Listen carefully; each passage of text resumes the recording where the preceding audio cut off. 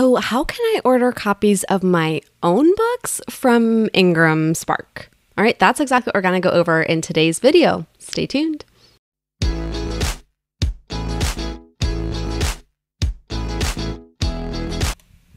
Hi, I'm MK Williams. I'm an author and independent publisher. I love sharing my insights about all things self publishing with you. Before I get into the details of today's topic, don't forget to hit subscribe. You'll be notified when I put out new videos every week about self publishing, making a career out of being an author, and now being a mompreneur. So it's done. Your book is formatted and approved on Ingram Spark. Now you're just waiting to get it into your hands that beautiful moment when the books arrive and you unbox it and you're going to film it and you're going to post it everywhere. It's going to be great. But how do you actually get your book from a listing on your Ingram Spark dashboard to a box on your doorstep? All right, today we're going to be going over how to order copies of your own book on Ingram Spark. So, the first time you hold your book in your hands is such an amazing moment. All right, many authors want to get their proofs or author copies as soon as they can. Now, a proof is usually a copy you receive before the release date where you can look through it and make sure the book looks the way you want it to before it goes out to the world. Okay, on Amazon, they, they have versions of these that literally have the not for resale band on them. I think that's a total waste of a book because now you can't use it for anything. It's just a proof. Can't do any marketing with it, can't do anything with it. So, author copies are copies of the book that you order at cost, right? So, you're only paying for printing and shipping um, for your own, you're going to use this for your own marketing, put it on a shelf, hand it to grandma, resell it at book fairs, whatever. Um, now, I will do a separate video of how to do this on Amazon because they do distinguish between the proof copy and the author copy. Ingram Spark does not. Um, it's just going into orders. So, how do you actually place this order in Ingram Spark? I've heard some authors ask if they should order from Amazon um, or Barnes and Noble or another retailer website to boost their rankings. So, first of all, that's not ethical. So let's not do that. Um, also, Amazon can see your address um, for your book and they know not to count those, right? Um, so if you have this pre order going with your ebook um, available through Amazon and you're like, oh, well, the print's on pre order through Ingram Spark, they won't figure it out. They're going to figure it out, okay? Um, so they're not going to count those as sales for you and you're paying full price and then you have to wait for the pre order to end anyways. So don't, just don't do that. And third of all, yeah, your book is on pre order, right? So they can't release it to you until your release date. So you might as well just do your order while it's on pre-order through Ingram Spark where you can override that, okay? So for those of us who do print pre-orders through Ingram Spark, you actually can order your proofs and author copies before the release date. I'm going to show you exactly how to do that right now. Okay. So from your dashboard here in Ingram Spark, you're going to navigate over to orders. So this is where you're going to put in your print order. Now, as you can see when you're looking at my list, I have a lot of books on here. Um, they're all in white or gray. It alternates white and gray, so you can just distinguish. But this one here is in yellow. So Escaping Avila is in yellow because it's on pre-order right now. Um, so it's not available for, if somebody ordered it right now, they would have to wait till October 26th till it comes out. So I'm going to walk through this example with you where I'm actually going to put two books on here. I really only need to order um, for Escaping Avila Chase, but for the purpose of kind of showing you how this works, I'm going to go through. Um, now, as I get more books on here, I could make use of this search by feature, um, so that way I could see it all, but right now everything still fits on one page. Um, we'll see if in the next year or so if I need to use a search feature. Okay, so I've clicked Escaping Avila Chase, and then the games you cannot win, I'm adding again just for that to show you guys how to do it, the difference. Um, so I'm going to add items to order. Um, okay, so my address is saved in here and that's above the fold here um, that you guys can't see. Um, so first thing, the question you're getting is the print location. Now, nine times out of 10, 99 times actually out of 100, I'm gonna pick the US location.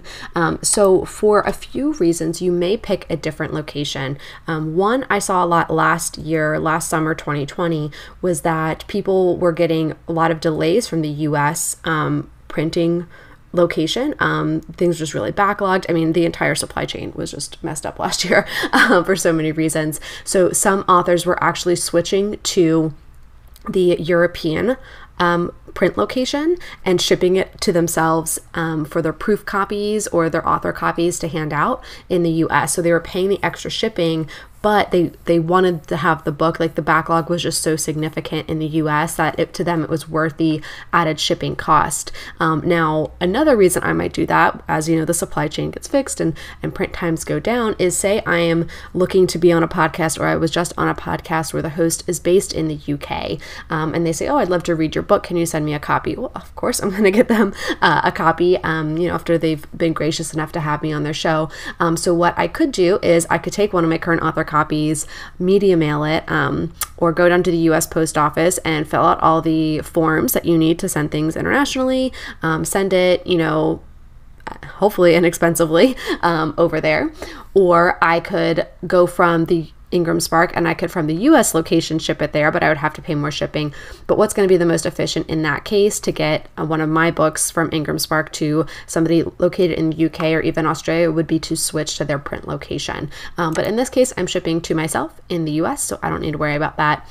Um, Ingram Spark does from time to time offer promotional codes for shipping. You usually have to order like hundreds of books. Um, I only need a couple, um, so I'm not going to worry about that today.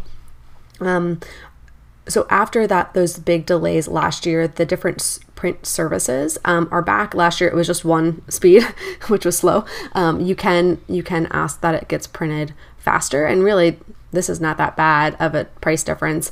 Um, you'll see with the different shipping options, the price goes up really quickly. Um, so with basic, you don't get any tracking on it. So if your package gets lost, it gets lost. Um, that was something that happened to me last year. My one package, it just got lost somehow um and like the USPS said like we never received this box from Ingram Spark. Like they're saying they sent it but like it didn't check into our system at all anywhere like even if you don't have tracking like we know what we receive and we never received it. So um, there's a lot of back and forth. They did eventually find it. It got to USPS. Um, eventually got to me. Um, but with Basic, you don't get any kind of tracking. Um, and usually that's what, if you're having an issue with your shipping, Ingram Spark will say, well, you didn't pay for tracking. So like we can't see where it is. Um, so usually the residential ground will get you the tracking. Um, but it's a big price jump. And then second day and next day, like these really jump up really quickly. So I usually go with Basic just because um, money doesn't grow on trees, um, but you can expedite things if you need to.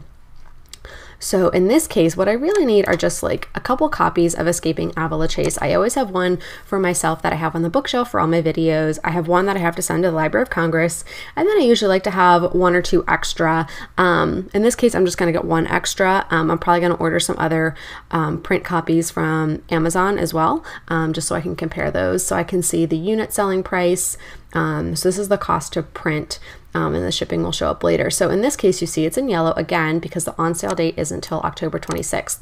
So I can say hold this until the on sale date or override it. So I want to override it. I want to get my book now. I don't want to wait till October. Um, I'm filming this in August. Um, but say I got um, a bookstore, a local bookstore said, hey, we want to stock your next book. Um, I would probably say, okay, well, I'm going to wait till the release date to send it to you so you don't accidentally sell it early. Um, if I was really concerned about that, if not, um, I would override the on sale date. So it's showing me everything there. and then it's going to ask me the same things for the second book right? So I'm able to go through and say, okay, yep, I just want one of those. I actually don't want any, but again, for the purpose of this. Um, I'm going through and doing that. And then they're showing the separate shipping and handling fees. Now, because I've picked the basic shipment, I have to check this box that says I understand. I picked basic shipment. I can't do anything about it if it gets lost. There we go. So I just need to click update order because it wants to know, okay, well, you change the number, you change these other things. Okay, so I've updated the order so it sees everything. So now it's moved all onto one line because I picked the same service and shipping. Um, so everything is in there. Escaping Avila Chase over the on sale date. Only one of those. Boom, boom, boom. Okay, I have to check this again. It really wants to make sure I'm not um, I'm not expecting some kind of express service. And I do see that a lot of authors on different forums complain about the speed. And then I usually ask, well, what what shipping did you pick? Um, and that's usually how that gets there. So when you go to submit order, go to submit order, it takes you through another confirmation page where you're just looking at everything one more time. You see the final price um, and you actually put in the email address that you want to send things to. And then you just hit proceed to payment um, where you have your credit card information already stored and you hit confirm. Um, so it's really super simple. Okay, so I put in my order a couple of days ago and now I just want to see how it's doing. Like, where is it in the process? Is it coming to me or easily? So, you go down to orders again and click to submit it, and then you actually click on the SKU for your order. So, as you can see in this one, I can see that it was ordered and it's currently printing. So, I just have to wait a little bit longer. Okay, and that's it, folks. Um, so, my books have arrived, they're looking amazing. Ba, little photo here. All right, so what other questions do you have about using the Ingram Spark platform? Let me know below so I can make a video answering your questions. If you found this video helpful, please give it a thumbs up and don't forget to hit the subscribe button. That lets YouTube know that you're getting value from this information and can get it in front of other authors like us. Now you can get back to writing your book. Hey, if you want to continue to support this channel and my other creative work, please head over to buymeacoffee.com and support my channel. You can buy me one coffee, three, five, ten, or you can even get a membership. Those who are in the membership are actually going to be included in the acknowledgments pages of all of my published books moving forward as a big thank you. And you can even get some additional options to get an Instagram thank you post shout out or a shout out in an upcoming video. Thank you so much for supporting this channel.